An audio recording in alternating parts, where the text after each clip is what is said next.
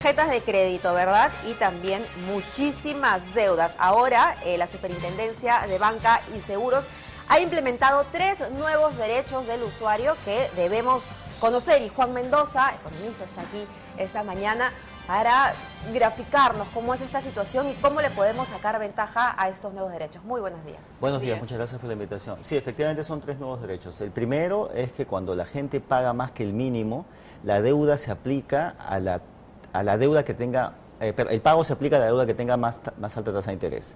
No, a veces uno en la línea de crédito tiene, por ejemplo, adelanto eh, de efectivo o tiene deuda por cuotas, entonces se va a aplicar a lo que más le convenga a la persona.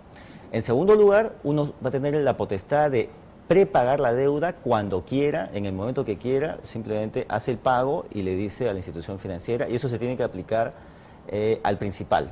¿Y, eso no se hacía ya? Es decir, en cualquier momento yo no em, puedo eh, matar la tarjeta como... En realidad sí, pero tenías que hacer un trámite y tenías que, el usuario tenía que estar, el, emisor tenía que estar de acuerdo, no era una cosa automática. Además siempre parecían como sorpresitas, ¿no? Unos centavitos más que debía al fin de mes. Sí, exactamente. Y la otra cosa es que cuando tú pagues más de dos cuotas, sin decirle nada a la institución financiera, el adicional se va va a reducir el, la deuda original. O sea, por ejemplo, si tú te endeudaste con 100 soles y tu cuota es 20 soles, ¿no es cierto? Y tú pagas... 40.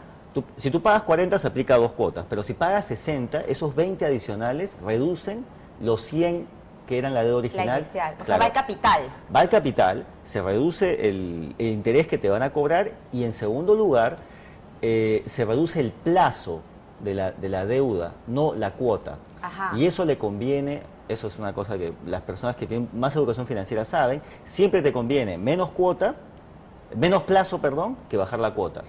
Entonces, esas son cosas que las personas podían haber hecho antes, pero tenían que haber hecho un trámite, tenían que haberlo hecho. Entonces ahora, sin que tú hagas nada, si, tú, si te sobra plata, tú vas y pagas tu tarjeta de crédito, vas a tener estos beneficios.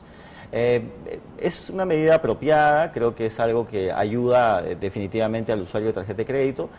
Eh, el problema es que tienen hasta el 31 de diciembre las instituciones que han emitido tarjetas de crédito para, adecuarse a la medida. Tienen 30 días para decir cuál va a ser su plan de acción, pero eso no significa nada concreto. No, eh, no veo por qué tenga que ser tan largo el plazo, pero nada es perfecto, así que tampoco hay que, ser tan crítico. Me parece una medida correcta. Regresemos al, tema del pago mínimo, porque quizá muchos, la mayoría de personas cuando van a pagar la tarjeta pagan lo mínimo. que se dice, ¿esto qué significa?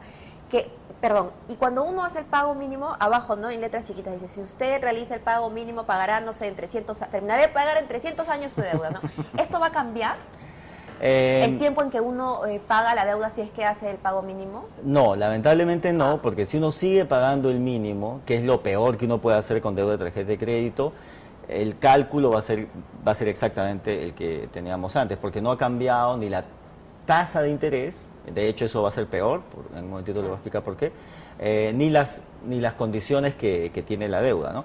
Eh, a ver, lo que, lo, que, lo que está cambiando es que cuando uno paga más que el mínimo, eh, básicamente se va a reducir el principal de la deuda, ¿no? para, para hacerlo sencillo. El que genera el interés. Claro, el, que genera interés, entonces al final uno va, va, a ahorrar en términos de, no va a pagar tantos intereses. Pagar el mínimo en la tarjeta de crédito es lo peor que uno puede hacer por varias razones. Lo primero es que la deuda de tarjeta de crédito es la deuda que tiene más alta tasa de interés. Y ha subido ahora en algunos en Ha subido, la, tasa promedio es 40, un poquito más del 40%, pero hay algunos emisores en los que uno paga más de 100%, e incluso hay uno que paga, se paga 150% al año, que es como... O sea, un panetón que cuesta 20 soles termina costando 60 soles, ¿no? Eh, en segundo lugar, porque hay otros créditos, especialmente para la gente que está en planilla, que están disponibles, que tienen tasa de interés que es como la mitad, por ejemplo, un crédito personal. Y en tercer lugar, porque hay que usar la tarjeta de crédito solamente para compras grandes de bienes durables, no para, para ir a comprar el, mercado, ¿no? Y, excepto que uno pague eso completamente a fin de mes. E inclusive así hay unas fechas en las que uno debería comprar para que no se le cargue el interés. Sí, por supuesto. la fecha de corte. Claro, o sea, a ver, si uno compra y paga todo antes de, en la, en la fecha que le corresponde, no se le carga ningún interés. Y más bien tiene el beneficio de tener un historial de crédito que se va acumulando, ¿no? Em, pero lamentablemente muchas personas eh, usan la tarjeta de crédito porque tienen la línea de crédito. Y ahora tenemos 23 mil millones de soles en deuda de tarjeta de crédito. Y eso ha subido más o menos en 6 mil millones de soles en los últimos 18 meses. ¿Y la tasa de morosidad? La tasa de morosidad está baja y, para que siga siendo baja, la gente tiene que tener mucha prudencia en tomar deuda. Por varias razones. Primero, porque la economía está desacelerada, se va a seguir enfriando, y porque lo que está pasando con el dólar va a hacer que el Banco Central, con mucha probabilidad, suba la tasa de interés en soles, o sea, la tasa que usan los bancos como referencia para, digamos, para eh, fijar sus propias tasas de interés. Entonces el crédito va a ser más caro y esa tasa va a subir la que, la que se aplica a los que tienen deuda en tarjeta de crédito. hay gente que usa la tarjeta de crédito para retirar efectivo y luego hacer compras con efectivo. ¿En qué casos eso es conveniente y en qué casos no? En el caso en que no tengas que tenga que hacer una compra absolutamente necesaria, porque de hecho ese es el tipo de deuda que tiene incluso no 40% de la tasa promedio. Un adelanto de efectivo eh, tiene mucha mayor tasa de interés. O sea, ese es el peor uso de la tarjeta de crédito. Eso es una emergencia realmente te atropellaron, una cosa así, necesitas la plata y no a nadie te presta. Eh, en realidad también lo, que lo que esta medida hace es, eh, para muchas personas que quizás no tienen educación financiera, no, no son profesionales, no son economistas, los ayuda a que eh, se tomen las mejores decisiones para ellos, ¿cierto? Eh, ahora, en, general, el, consejo es, si usted tiene un poquito de efectivo que le sobre, un poco de cash, pague su tarjeta de crédito. es la primera deuda que uno tiene que, pagar. El banco nunca pierde. Porque si la superintendencia ajusta por aquí, entonces yo te eh, levanto el costo de la membresía o algunos gastos administrativos, la emisión de, algún documento, subo los precios por ahí.